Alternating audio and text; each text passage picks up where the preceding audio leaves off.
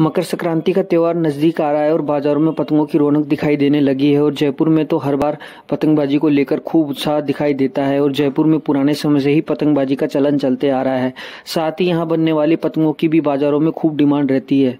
आज आपको ऐसे ही एक परिवार के बारे में बताएँगे जहाँ वर्षों से परिवार के सदस्य पतंग बनाते आ रहे हैं। वैसे जयपुर में सिर्फ़ पतंगे ही बनती है। पतंग को उड़ाने वाला मांझा उत्तर प्रदेश के बरेली से जयपुर सहित पूरे भारत में पहुँचता है।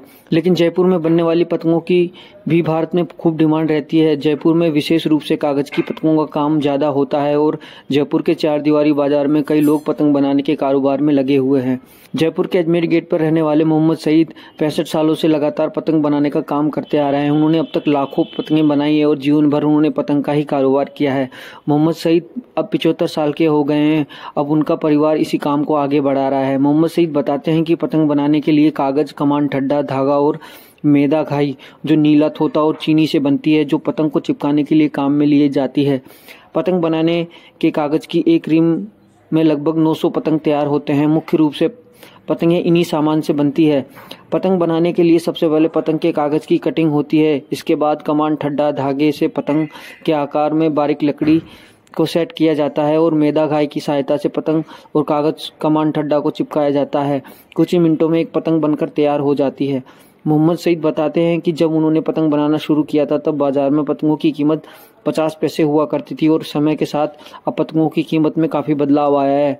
अब उनके द्वारा बनाई गई पतंगों की कीमत बाज़ार में पाँच रुपये से लेकर बीस रुपये तक होती है। साथ ही मोहम्मद सईद बताते हैं कि उन्होंने यह पतंग बनाने की कला गुजरात के अहमदाबाद से सीखी और जयपुर आकर उन्होंने पतंग बनाना शुरू किया। वो धीरे धीरे अपने परिवार के सदस्यों को भी पतंग बनाना सिखाया और अब परिवार के सदस्य मिलकर मकर संक्रांति के सीज़न में लगभग दो लाख पतंगें बना लेते हैं और बाजारों में उनके पतंगों की खूब डिमांड भी रहती है। आइए बात करते हैं वर्षों से पतंग बनाते आ रहे मोहम्मद सहीद जी से। मोहम्मद सईद।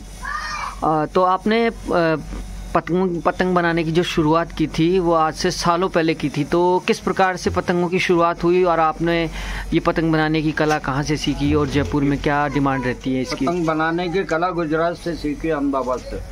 पतंग की कीमत पचास पैसे थी कागज़ कबान ठंडा सब सस्ता आता था उस वक्त में।